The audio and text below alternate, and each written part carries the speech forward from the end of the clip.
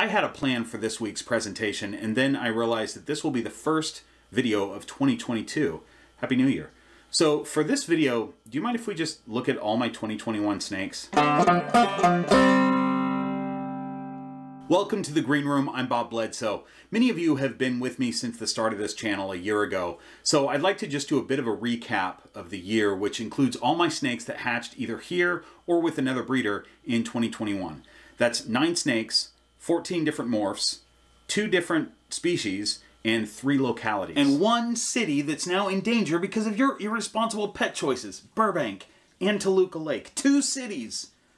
Maybe Hollywood. Can they go over hills? That's three cities. Do I even need to introduce Kent anymore? Yes, because Kent's Corner is so famous now that I need no introduction. So, no. Are you doing a Kent's Corner this week? Uh uh It's raining outside and mom couldn't find my umbrella this morning. We'll do it later. We're not just looking at pretty snakes today. For new keepers and people considering a snake, this should give you an idea of sizes, personalities, behaviors, and some good comparisons of snakes that are under a year old. This is Echo, by the way. She accounts for the entire other species that I was talking about and all three localities. Echo is a super dwarf reticulated python. She hatched last April. Now, aside from genetic morph, we also track localities in these retics.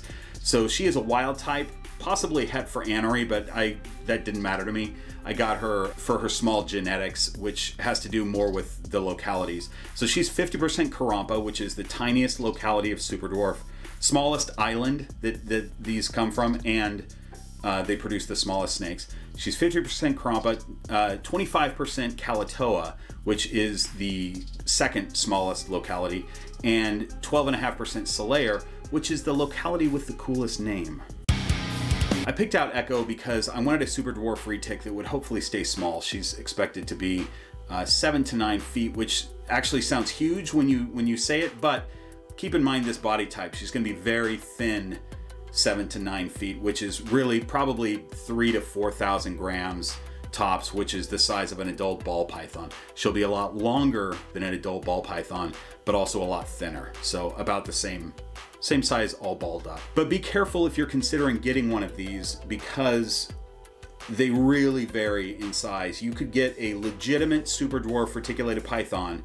You know, let's say the breeder didn't lie to you about the genetics and it actually has at least 50% or more super dwarf blood, then you can call it a super dwarf, but it could still get to 13 feet long, which is pretty massive snake. They, you know, the longer they get, the thicker they get. So 13 feet is a much bigger snake than a ball python, obviously. I plan to breed Echo, but we're at least four years away from that. So right now, she is just a super curious, highly intelligent snake who has her own set piece on the Green Room Python soundstage. Uh, I think soundstage and set piece are a bit of a stretch. We're in your living room, not Paramount Studios, you friggin' goofball. Oh, Kent, will you just hold her for a minute? No, God, get away. Ew. Well, I think we'll just put her on her set piece then. I think what we'll do is set the ball pythons up in the playpen and try to get a good comparison view. This took way longer than I expected to figure out, but I got the playpen and it's up, so we could talk and I got a B-roll camera. Oh, turn the camera on, jeez. Okay, let's compare two very different looking pieds. This is Bear, August 2021 baby. He's a pied 100% het clown. He's such a cute little guy. And he's a great example of what I consider a medium white pied. And this is Captain Feral. He hatched in July, I think early July. He's a leopard enchi pied, 100% het hypo, 50% het Ultramel. And he's a great example of a very low white pied. He's really only got the white on his tail, but his belly's really cool. Like this kind of along his not not even the belly itself, but the the side. You can you can see all this pied on on his side, um, which the camera won't focus on. But hopefully it does when I put him in the playpen. Enchi is what does that to pied. It brings a lot of the pattern back in. Um, plans for them next year are Bear will go in with Lydia Deetz, who is my clown het pied. We're looking for some visual clown pieds. And then the good captain there will uh, go in with Molly Malone, my Ultramel het pied, 66% het hypo. And we're looking to prove out her possible hypo and his possible Ultramel. So it could be a triple recessive project if the Ultramel and Hypo gods are smiling upon us. These two are very well-mannered little boys, and even though Captain Farrell was biting everything, mostly his tub when he first came in, I would be surprised if I ever saw him strike again. He's such a uh, personable little snake and comes out onto my hand all the time. This is the Sundance Kid. He hatched in late August. He's a cinnamon het sunset and he'll go to Eevee, my vanilla het sunset next year. He's also really well socialized and loves to come out and explore around. You know, in pictures, cinnamon and black pastel never really did much for me, but when I saw it in person, I was like, man, this is cool. Because this is really, visually, this is just a, a cinnamon. Uh, he's het for, for sunset, which is a really awesome gene, but visually, he only shows cinnamon. And in person, he looks awesome. Really like him. Okay, where are we at? I'd like to show my snake that I got in 2021. That's right, I gave Kent a starter snake to get him over his phobia of snakes. Hi, welcome to Kent's Corner, your favorite show that we're we're we're doing it right here again this week. This is Eric the Murderer. He is Eric the Murderer, and he was born at IKEA. And Eric Tell everyone what you like to do. Well, Kent, I like to squeeze people until they are dead and then I eat them because that's what snakes do. I am a snake and that is what we do. Maybe if your brother Bob doesn't want to get squeezed and eaten, he maybe shouldn't have so many snakes. This is worse than last week's Kent's Corner. Thank you for watching Kent's Corner, your best source for news. You still haven't landed on a slogan. I'm still test driving a few catchphrases. So in case you're interested, since they're all crawling out, you know, they're all pretty close to the same size. Captain Farrell's a little bit bigger, but I just set up my scale. Let's look at Bear. Bear is 221, and I'm gonna guess that the Sundance Kid is the same. 210, pretty close. 210 and 221, and I'm gonna guess Captain Farrell here at 240. 3, 243. I'm not taking B-roll of the scale, so you just have to trust me. 227. All right. So he's not, he's not a ton bigger. He just seems bigger. Look at my handful of snakes here. I'm gonna put them back in their homes, and then we're gonna take a look at the clutch that I hatched out. I have all but one of them uh, right now that we can look at and compare sizes and things like that on. There is a big size difference in them. But let me first say that 2021 was Green Room Python's first full year. I did a video a couple weeks ago that talked about how the YouTube side went, but additionally in 2021 I started my first year of breeding. I was hoping for three clutches and I got one. I was ecstatic about that clutch though, uh, and we're about to look at most of them. I learned all about super dwarf reticulated pythons last year. I got my first one. She's way up there right now. The YouTube channel grew a lot and I started a Patreon which is going very well. I really appreciate these Patreon supporters. They're helping me to be able to produce these videos each week and make them better and better. They'll be helping me do all kinds of stuff for this channel in 2022 and we're giving them some extra exclusive content. I'm doing extra content. Kent has his own Patreon series. They're getting things like stickers and t-shirts and stuff like that. All right, on to more 2021 snakes. The hatch date for this clutch is September 14th. So as of right now, they are like three and a half months old. Um, Freya and Ron gave us six babies, four of which were available, three have sold, but only one of them has shipped out.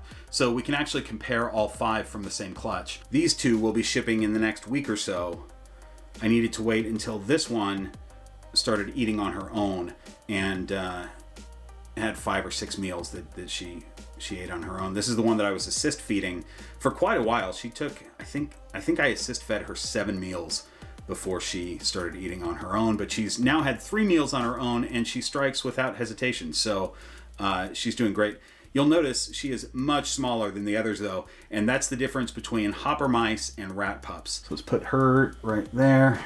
That little one isn't shy at all, but she hasn't been worked with much because the priority was that she develop a feed response. So me pulling her out and handling her all the time would uh, not be conducive to that.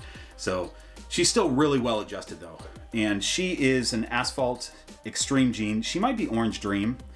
Uh, the jury's still out on that. And then her sister here is just an asphalt If you're going to have one gene, asphalt is the gene to have. Both of these girls will be producing some really cool freeways in a couple years. Here's number three, Tracy.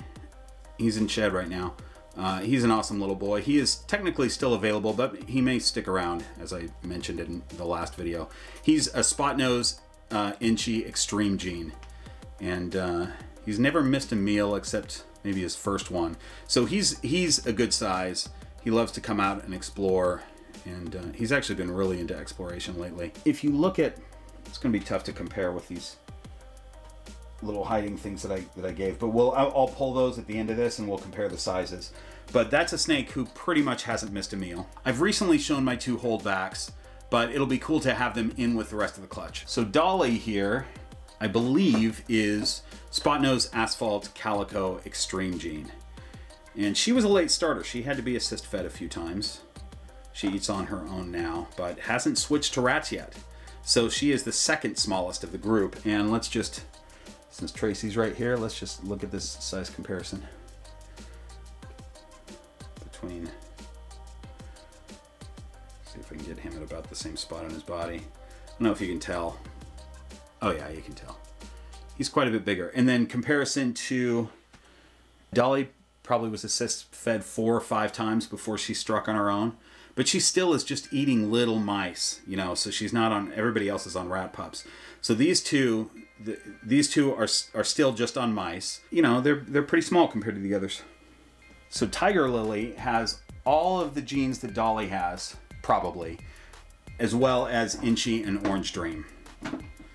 So all six available genes, I believe that Tiger Lily here got. And she is the biggest. She struck and ate the first frozen thawed meal that I ever offered to her. I mean, her first meal was a frozen thawed, so she's never eaten alive. And um, she just uh, last week took her first weaned rat, so she's she's the first one out of the clutch to get bumped up to weaned rats. So she's a big girl. Oh, and I'm losing them. I'm losing them. Don't take off. There you go. There you go, a little head shy. Look at this comparison right here. Look at, look at Tiger Lily versus little number four here. That's a big difference, right? And then versus Dolly. And it looks like number five might be even bigger than Tracy over here, number three. I mean, it's hard to tell. They're moving all over the place and and being crazy snakes, you can at least tell the size difference from all those, you know, to her. So Dolly here was the first one to pip and crawl out of her egg. I knew that I was keeping her regardless of the genetics because she's the first snake that I've ever hatched, technically. And, hey, quit trying to leave. You can't. Can't leave. Let's put a hide back on you. There you go. Tracy, you can't leave. That's against the rules. There you go. Man, snake wrangling. Tiger Lily was the last one to crawl out of her egg, and I caught that on video. So I knew that I had to keep her too, um, regardless of her genetics. I just got lucky that the snakes that I planned to keep for sentimental reasons were also the snakes that had the genes that you know, the gene combo that I would have wanted. Hold on, let me count snakes really quick. Oh, good, three, three are in the hide. I looked in, I looked in and only saw two snakes. Really happy about how 2021 turned out for Green Room Pythons, and I'm excited to see what surprises are in store for 2022. So, thanks so much for watching, and I'll see you next week.